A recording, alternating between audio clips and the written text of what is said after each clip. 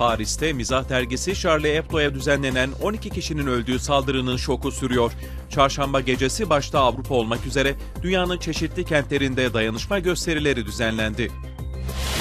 Paris ve çevresinde terör saldırısı alarmına geçildi. Güvenlik önlemlerine ordu da katılıyor. Polis iki zanlının fotoğraflarını yayınladı. Özel timler ülkenin kuzeyinde iki zanlının olay sonrası görüldüğü bölgede operasyonları yoğunlaştırdı.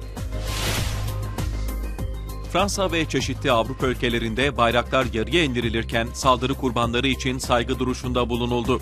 Dünyanın dört bir yanından siyasi ve dini liderler kınama mesajları yayınladı.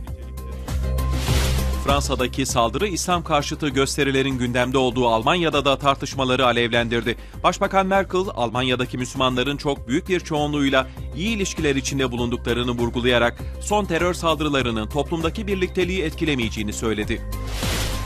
Başbakan yardımcısı Gabriel bu saldırının İslam'ı da hedef aldığını belirterek karşı propaganda olarak kullanılmaması uyarısı yaptı. Adalet Bakanı Maas da İslam karşıtlarının saldırıları kullanmalarının tiksindirici olduğunu söyledi.